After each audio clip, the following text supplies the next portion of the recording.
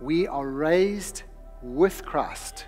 We become like Him because we are raised with Him. And our perspective changes.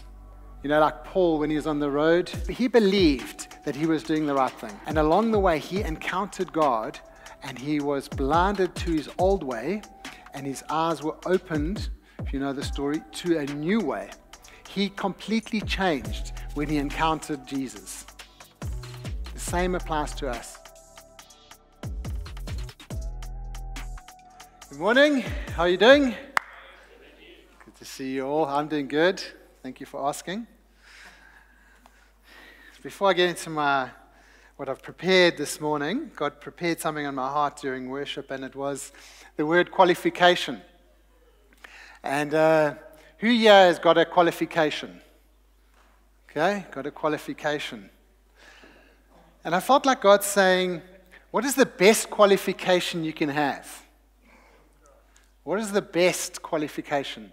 Lawyer, actuarial scientist, doctor. What is, come on, what is the best one? To be a child of God. That is the best and the only qualification that really counts. And if you felt that you're not qualified, I want to tell you this morning that you are qualified in Christ. If you want to be a doctor, be in Christ. He's the best physician the world has ever seen. If you want to be a lawyer, be in Christ because he is the judge. He is the best lawyer ever. If you want to be really clever, be in Christ because he is all knowing. If you want to if you want to be like in construction, be in Christ. He's the creator. Isn't it amazing? We can be qualified in all these things if we just accept who Christ is in our lives.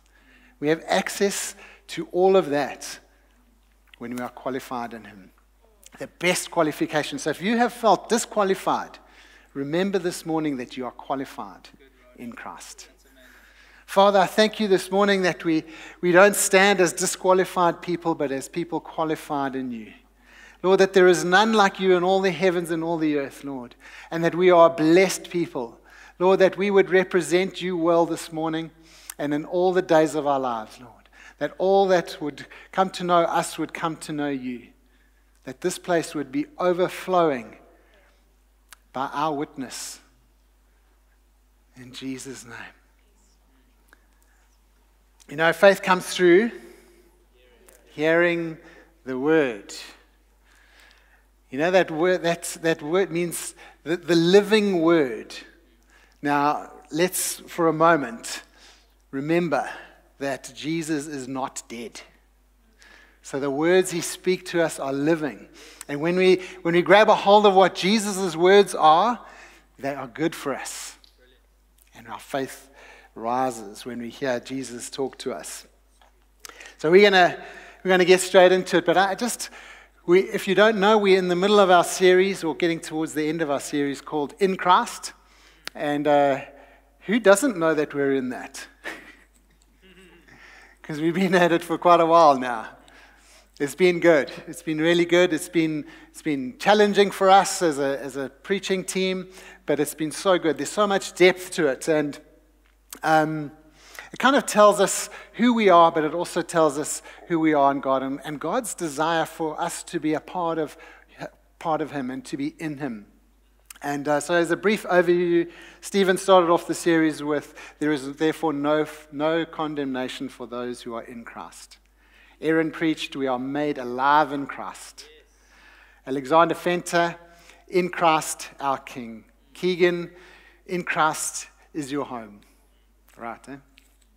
Uh, Caleb, there is a new com- uh, covenant in Christ. Mel preached last week grace to do good works in Christ. And Sean, last week in the evening, made to love in Christ. Today, I'm going to be speaking about you are new creation in Christ. You know, that, that, that phrase, in Christ, is mentioned 165 times in the New Testament.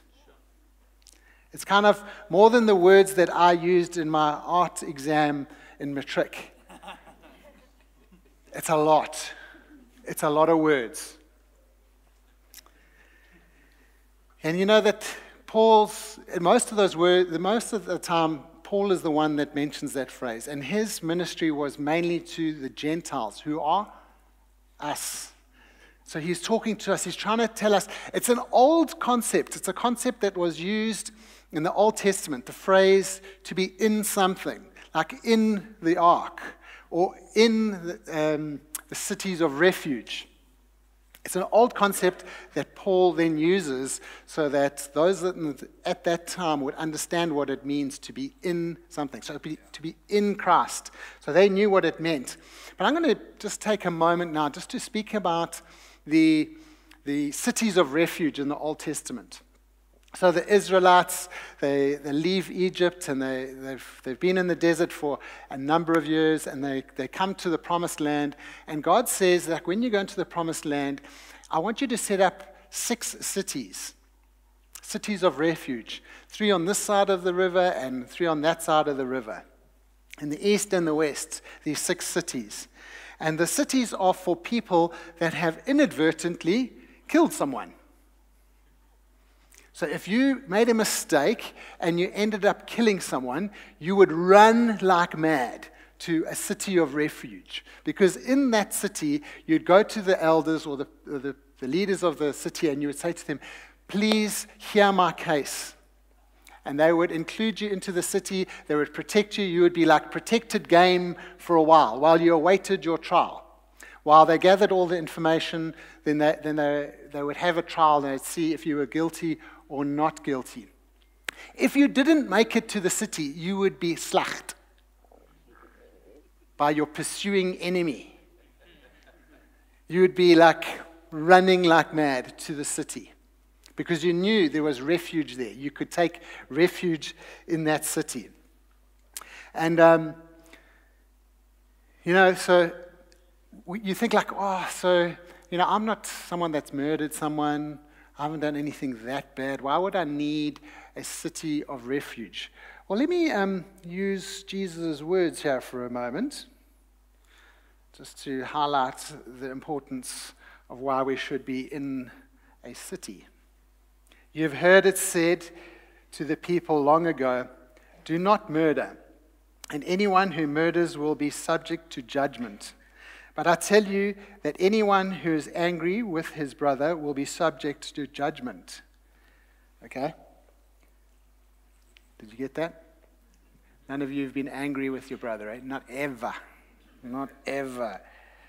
Again, anyone who says to his brother, Raca, which means like, hey, empty head. Okay, that's weird, but anyway, I think it was an insult in those days. Hey, empty head is answerable to the Sanhedrin. But anyone who says, you fool, um, some people have said that a few times, will be in danger of the fire of hell. New Testament, those are red letters. If you had a red letter Bible, Jesus talking, he's saying that not just if you murder someone, but if you've even been angry with someone. And he goes into a whole lot of other different things. You know, you've heard it said that if you committed adultery but now if you look upon another man's wife, you've committed adultery. And he goes on. We need a city of refuge. We need to run like mad to find refuge because otherwise judgment is upon us. We will be judged for the things. You know, judgment day is coming. There is going to be a day of judgment. But it's nothing for us to be afraid of if we are in Christ. Isn't that good? So, it's a good place for us to find refuge and find hope if we're in Christ, that we might be exonerated of our sins and the things and our thoughts that we have had about other people. You know, without a city of refuge, we would be hunted down and we would be found guilty and the judgment would be upon us. But in Christ, we are found not guilty. That's a big thing. You know, there, there, there's six cities, and I, you know, I, when I read the scriptures, I, I sometimes wonder why there weren't seven. Because if there were seven, like seven's like the perfect number, hey? But six speaks about humanity. God says six cities because six is for us. The cities are for us. Even in our, our wrongdoing, God pre, uh, creates a space for us, a place of refuge for us. Six cities. And their names have significant meaning as well. So there are six cities um, Kadesh, Shechem, Hebron, Bezer, Ramoth, and Golan. Golan. Kadesh means holy place. When you, when you find yourself in the city of Christ, He is holy. He's the holy place. He's the one we nestle into. He allows us to come into His holiness and protects us. Shechem means a strong shoulder. Strong. He's a strong place. It's not a weak place. It's not like, you know, we have to duck and dive. He stands strong. We get into that city of Christ. It's a strong place for us. Hebron means fellowship. When we come into Christ, we enter into a place of fellowship with others. It's a good place for us to be. He calls us into Himself, and in Himself, we have fellowship with other believers. Um, Bezer doesn't mean beer. You're like, okay, let's have a Bezer. It's not the city where you get beers. Caleb? you might get drunk in the spirit, but definitely not from beer. Bezer means strong hiding place, a place for us to hide, to run away from the things that we've done in the past and from the, our pursuing enemy. And uh, Ramoth means high place. You know, God seats us in high places with Him, above all things, to reign and rule, to have our being, to oversee, to have dominion with Him in heavenly places. And Golan means enclosure for capture, captives. We are captivated by Christ. When we're in Christ, we are captivated by Him. You know, for eternity, we're just going to be like captivated by His glory. His ever increasing. We would never, we won't even be able to see the end of His glory. I was once told, like, how can you explain what eternity looks like? And how is it that we'll just be worshiping for eternity? I was once explained like this like, you know, when you're walking in the mountains and you come around a corner and you see this beautiful valley and everything's just amazing, you go, oh, it's like that. We're just going to be captivated by Jesus. He says, Oh, my word. It's like so much more than we can even imagine, can't, can't even comprehend. But it's a great feeling. We're going to be captivated, and He wants us to be captivated by Him. Just as the worship team did for us this morning, he, they, they, represented a, a captivating space for us to be in His presence. But you know this, if, if you were running to a city of refuge, you would surely want to know the signposts to get there. They, don't, they didn't hide the cities. They put big signs up, city of refuge, a big arrow. This is the way to go to find a city of refuge. What do you think a good sign is for us? The cross. The cross is our sign, our signpost to find our city of refuge, our place to be found in Christ. When we see the cross, we know we have a place to be in. Isn't that beautiful? We are not condemned.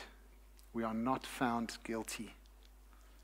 We are guilty, but we are not found guilty because Jesus takes on all our guilt on our behalf. So my key scripture this morning is 2 Corinthians 5:17. Therefore, if anyone is in Christ, he is a new creation. The old has passed away; behold, the new has come. So I want to summarize our In Christ series so far in one sentence. Bear with me.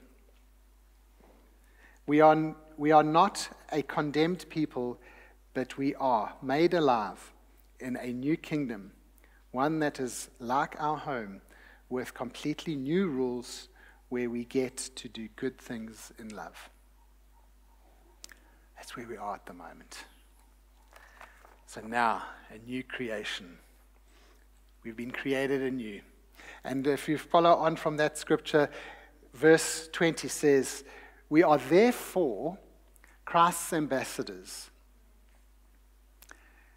We get to carry Christ wherever we go, to represent to the world what it means to be in Christ.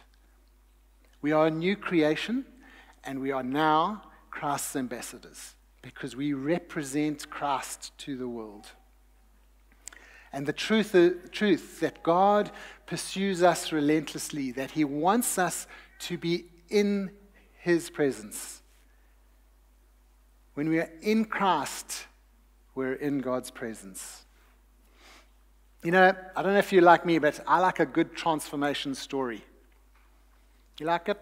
I like it. You know, when you see a little puppy distressed, full of fleas, being neglected, like in the bush, maybe on the dump, you know, yelping, crying, any human being come next to it, whimpering away. Anyone feel that? Okay, all right, it's just me. And, and, and someone comes up to the puppy and, and gets a hold of it, takes it home, gives it a bath, gets rid of all the parasites and things, cleans it up, gives it some good food, puts it into a family, and then you see, like, two months later, this dog bounding around, enjoying the life that it's now been given. Those are good stories, eh? Or even like a house, a derelict house. If you're a builder like me, you see an old house and you think, wow, imagine what that could look like, how you could transform it, like put some new windows in, maybe a deck out the front, a swimming pool, a nice place for people to come to, lick a paint. A little bit like Shiloh, hey, when we did some work to Stephen and Hannah's place in the Berg. Those are good stories. You know that we that story? We are that story. That your testimony is exactly that story. You were once one way and now you're a different way. People want to see those stories. Just like they want to see the story of a little puppy being rescued, they want to hear your story, your story of transformation.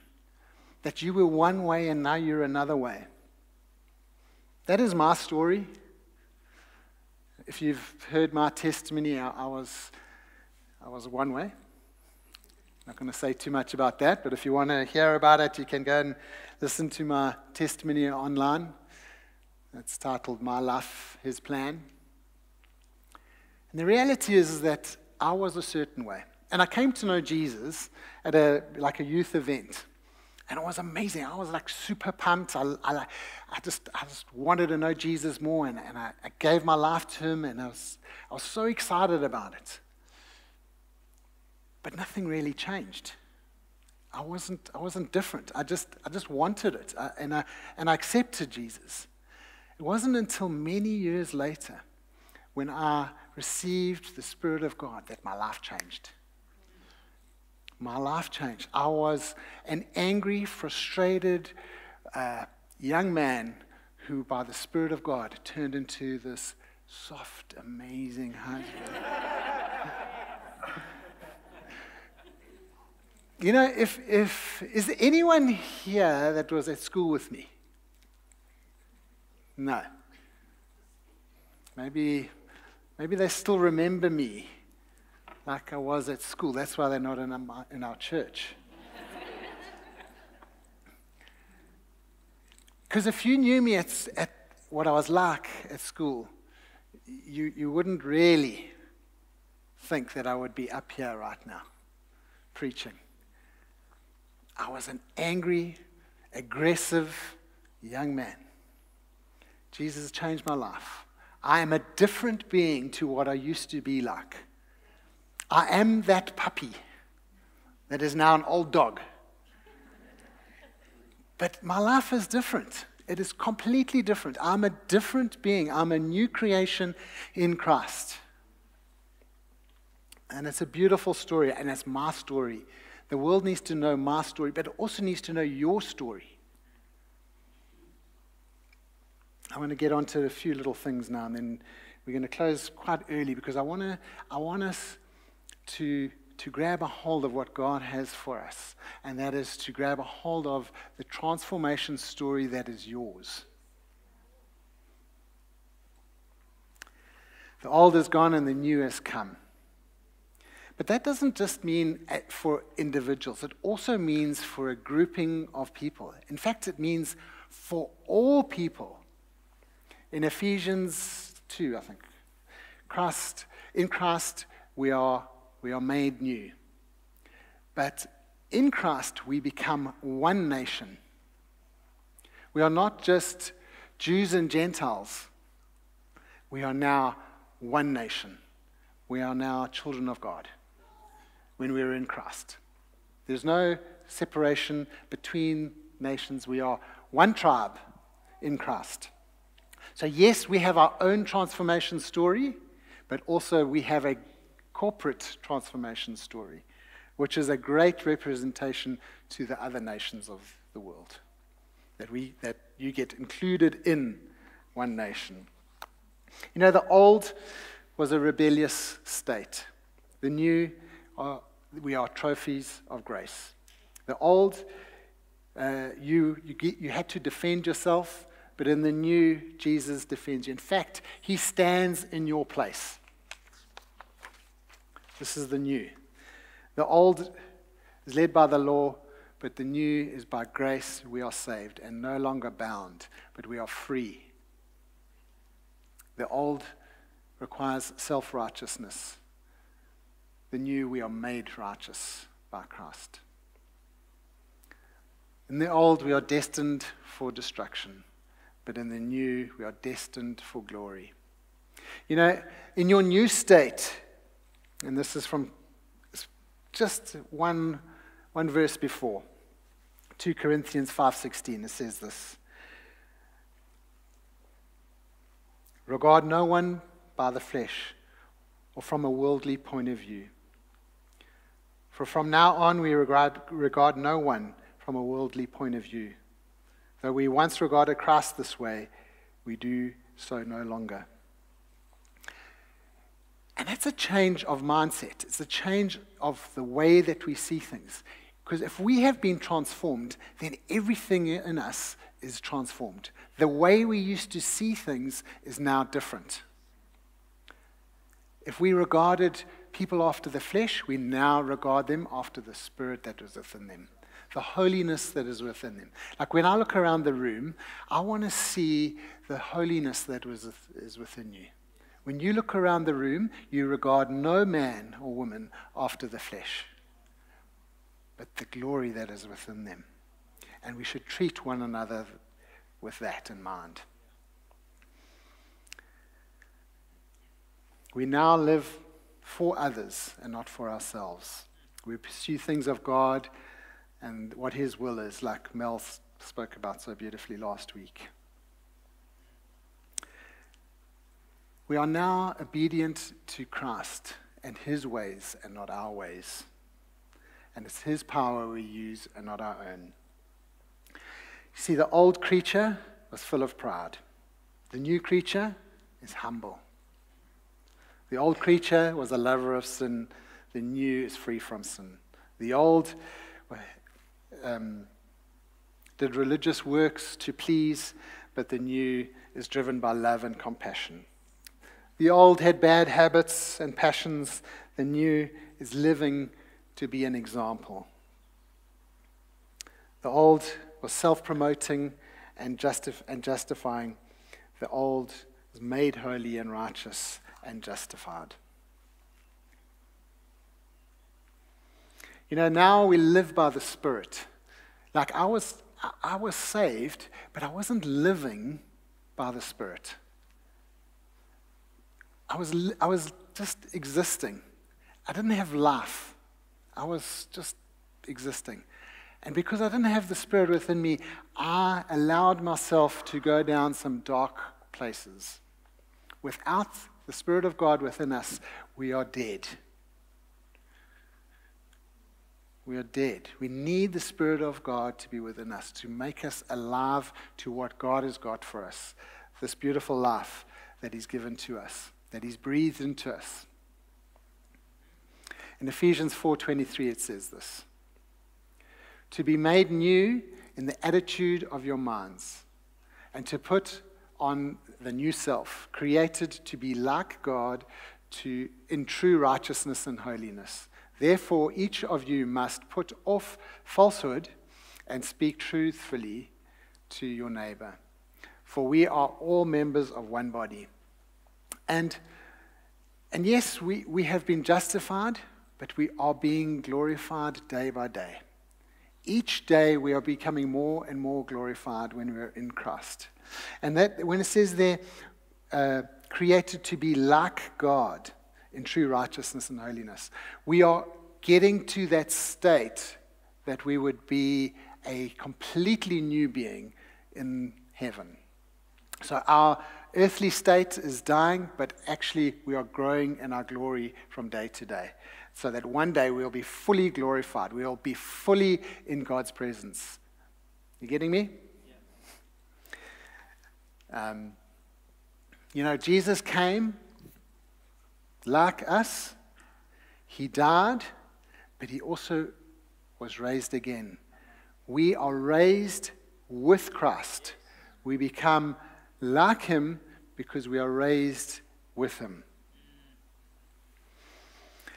And our perspective changes. You know, like Paul, when he was on the road, he, gets, he, he, he believed that he was doing the right thing. He, he believed he was doing the right thing. And along the way, he encountered God and he was blinded to his old way, and his eyes were opened, if you know the story, to a new way. He completely changed when he encountered Jesus. The same applies to us. If you, if you feel like you have not changed who you are, I want to challenge you this morning. Allow yourself to be encountered by Jesus. That encounter with Jesus is going to change you. It's, you're going to be a different person. You're going to be a way better person. i tell you what, I'm a way better person than what I used to be like. Only because of what Jesus has done for me through his Spirit. Seriously. You know, when, when people come to know well, before they come to know Jesus, they say, Oh, I'm going to lose out on so much. What about all my friends? The things that I used to do, I can't do anymore, and whatever. It's like, Yeah, absolutely. It's a good thing, but really, it's, a, it's an amazing thing that you can be transformed by Him. You know, Jesus, Jesus was not Adam, he didn't fail, he gained full victory. In Jesus, all are, be, are blessed. All are made one in Him. All are made children and heirs and have a great inheritance in Christ. And all are reconciled to God. Jesus came so that we could be reconciled to God. We can come back into God's presence. We can be one with Him. We can be in right standing with Him. We are made righteous by Jesus. But it's only in Jesus that we have that. Our life should now be about showing our gratitude to Jesus, but that the world would see it. So I want to spend some time ministering this morning. So to be in Christ has a whole lot of meanings. But being in Christ, you are a new creation. You are something new. You're on the road to be fully glorified when you're in Christ.